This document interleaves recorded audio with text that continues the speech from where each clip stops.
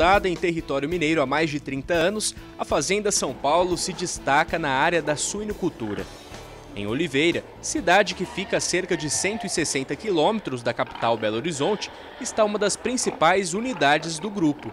O local trabalha com um ciclo completo. São 5 mil matrizes que geram uma média de 3 mil leitões por semana. A empresa começou com 170 matrizes há 30 anos atrás e hoje nós estamos com um plantel aí de 5 mil matrizes é, e com projetos aí para que haja mais crescimento. Né?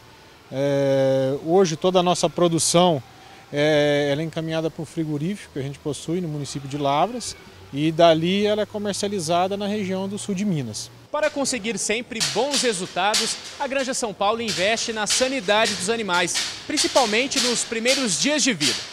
Na maternidade, um dos desafios é contra as diarreias, causadas pelo protozoário Isóspora suis.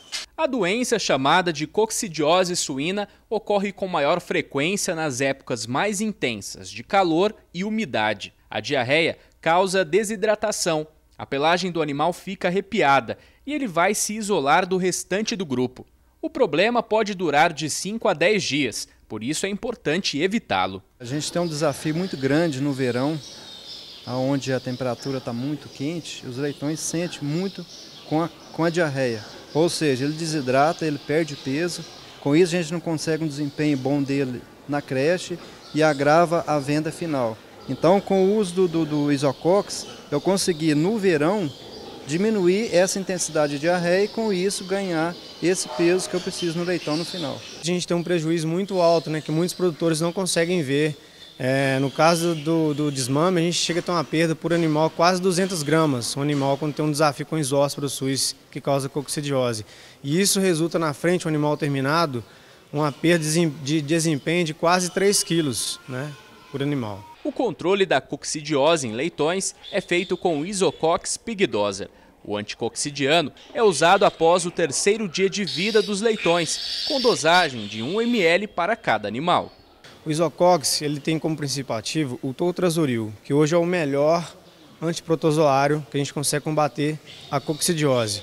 E com isso, a gente consegue prevenir essas, diarre essas diarreias que a gente tem de desafio. Após a aplicação do Isocox, eu consegui uma eficiência de 99,9%. A prevenção da coccidiose com Isocox pigdosa garante o melhor desenvolvimento dos animais. A Granja São Paulo hoje conta com um plantel de aproximadamente 5 mil matrizes, onde tem o objetivo de desmamar a maior quantidade de leitões com qualidade e um peso bom, para que no final, aos 150 dias, que é a nossa idade de venda, a gente atinja o nosso peso de 107 quilos. Hoje a gente busca, assim, é, dentro do mercado, parceiros né, de, de potencial e a gente viu isso na, na, na empresa Ouro Fino, né?